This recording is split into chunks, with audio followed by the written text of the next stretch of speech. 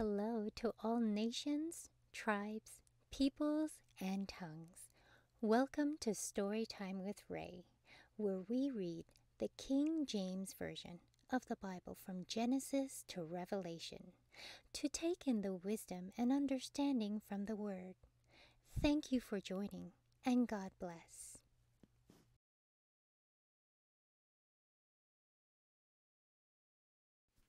1 Samuel chapter 11 Then Nahash the Ammonite came up and encamped against Jabesh Gilead. And all the men of Jabesh said unto Nahash, Make a covenant with us, and we will serve thee. And Nahash the Ammonite answered them, On this condition will I make a covenant with you, that I may thrust out all your right eyes, and lay it for a reproach upon all Israel. And the elders of Jabesh said unto him, Give us seven days' respite, that we may send messengers unto all the coast of Israel. And then, if there be no man to save us, we will come out to thee. Then came the messengers to Gibeah of Saul, and told the tidings in the ears of the people. And all the people lift up their voices and wept. And behold, Saul came after the herd out of the field, and Saul said, What aileth the people that they weep? And they told him the tidings of the men of Jabesh. And the Spirit of God came upon Saul when he heard those tidings, and his anger was kindled greatly. And he took a yoke of oxen, and hewed them in pieces, and sent them throughout all the coast of Israel by the hands of messengers, saying, Whosoever cometh not forth after Saul and after Samuel, so shall it be done unto his oxen. And the fear of the Lord fell on the people, and they came out with one consent. And when he numbered them in Bezek, the children of Israel were three hundred thousand, and the men of Judah thirty thousand.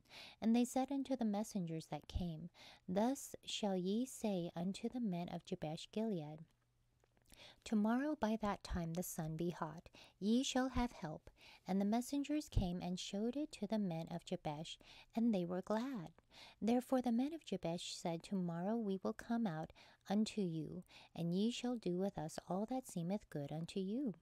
And it was so on the morrow that Saul put the people in three companies, and they came in to the midst of the host in the morning watch, and slew the Ammonites until the heat of the day. And it came to pass that they which remained were scattered, so that two of them were not left together. And the people said unto Samuel, Who is he that said, Shall Saul reign over us? Bring the men that we may put them to death. And Saul said, There shall not a man be put to death this day. For today the Lord hath wrought salvation in Israel. Then Samuel to the people, Come and let us go to Gilgal and renew the kingdom there. And all the people went to Gilgal, and there they made Saul king before the Lord in Gilgal, and there they sacrificed sacrifices of peace offerings before the Lord.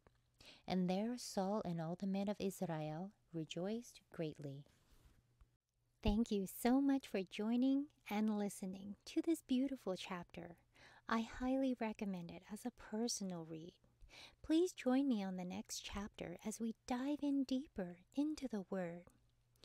If you do love the Word as much as I do, express so by liking, sharing the Word with your loved ones, and even subscribing. And may the Lord bless you each and every day.